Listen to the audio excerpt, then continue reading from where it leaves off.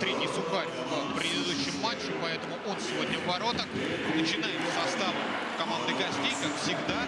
Здесь повторить передачу. А в свободную зону здесь уже это в борьбу с этим видом. Азеведо перехватывает шайбу. Азеведо бросает. Штанга! Спасает сейчас команду хозяин. Сразу после Да не, нет, и, и до штанги. Нет, этот отрезок э, где-то так серединный период. Уже минуты 4. Вот опасный момент. Не попадает в створ.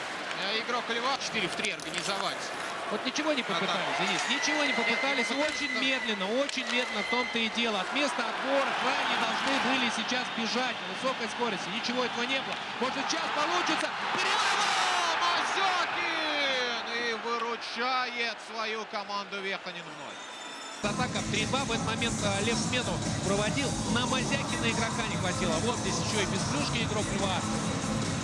По-моему, Черенков клюшки отбил эту шайбу Веханин. Перевел за ворота и продолжают, продолжают контролировать магнитогорцы шайбу в чужой зоне. Вновь Юньков, Титкин помогает. Отброситься не получается у Льва. Терещенко борт закрыл. Гол! 1-0! Счет открыт, и это Богдан Потехин! Первая шайба магнитогорского металлурга в этом финале, в этой серии. Богдан Потехин ее забрасывает. Понятно, что они проигрывают, и теперь им надо стараться там счет сравнять. Но вот этот вариант, когда Лев пропускает первым, и выход 1-0, Мазякин с неудобной здорово бросал в ближний угол. Бирн будет первый, конечно, на шайбе, но так просто ему вывести не дадут из своей зоны шайбу. Классно разыграно! И удаление будет у магнитогорского металлурга. Булит. Булит. Ну, мы, в принципе, все видели. И на повторе еще раз посмотрим. И сейчас Михаил Жепик будет пробовать счет сравнять. Все, фишки расставлены, ставок больше нет. Жепик против Кошечкина. Реализует Михаил Жепик этот штрафной бросок. Пытался положить голкипера и с неудобной руки над щитком отправить шайбу. Перевод в центр в направлении Ридервала. Мазякин. Входит в зону без поддержки партнеров. Коварш по противоположному флангу. Прострел центр. Назарипова Ли подбирает шайбу. Оставляет Мазякину. Гол! Великолепно разыгранная комбинация. И счет 2-0. Да, все было разыграно как по. По-другому и не скажешь здесь. Действительно, роли композиторов. Вся пятерка, находящаяся на этом не так просто была. Расчертили, что называется. Сергей Мазякин шикарную передачу, конечно, отдал. Определенная доля критики и немалая после первого матча в адресе всего первого звена. Шайба остается в зоне Льва. Мазякин. На Зарипова. Зарипов на Коваржа. Антипин ищет момент, чтобы получить передачу. Бросок. Ломается клюшка. И гол! 3-0. Казалось бы, все, момент завершен. Ничего подобного. Ян Коварш расторопнее всех оказался на добивании. Забыли его на дальней штанге. Действительно, рядом с ним даже близко защитников не было. И Ян Коварш с подобными моментами привык пользоваться в полной степени. Уже металлург за То есть действительно заряжены были.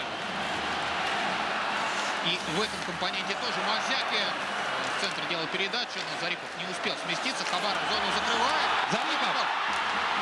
Ковач мог и обязан был делать счет 4-0, но Веханин. А это первое звено. А это первое звено. Ты знаешь, я все-таки вот, э, вот то, что мы сейчас наблюдаем, это еще большее подтверждение. Шуда Сергей Мазякин гол. Передача. Зарипов две. А гол передача. А... Бы не... Нет. Еще один момент. На пятаке шайба. Веханина вытеснили из э, вратарской зоны. И там шайбу он вынужден был уронить. Но последовал свисток. И вновь разборки в силовой манере. Обнимашки со стороны Евгения Тимкина.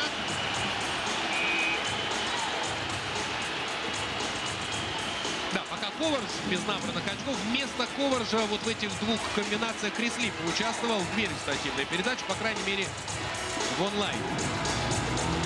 Третий-то шаг Коварж забросил. Ну, как бы да. Как бы да.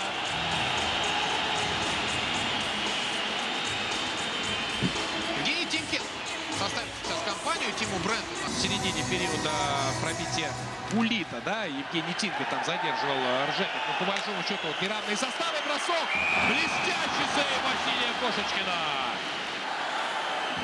Магнитка атакует. Коварж отправляет на лед Мянпия. Вылетает шайба на пятак. Коварж туда сразу не успел. Ли бросает от синей. Мазякину не дают добивать. Мазякин за воротами. Классно, как все сделано. Коварж не попадает по воротам. Коварш один остался там. Бросок от синей линии. Гол! 4-0. Сергей Мазякин. Уже с ленточки, по сути, отправил шайбу в сетку. Ну, как-то расхлябанно вышел Лев. А, В первой же смене пропускать гол не есть. Хорошо, тем более, когда тебе нужно отыгрываться. И очень много ведь моментов было. Сейчас 3-4 момента подряд.